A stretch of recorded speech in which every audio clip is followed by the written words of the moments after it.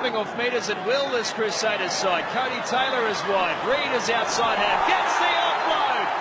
That is an unbelievable try. Harbilly. Now through a gaping hole goes Moore.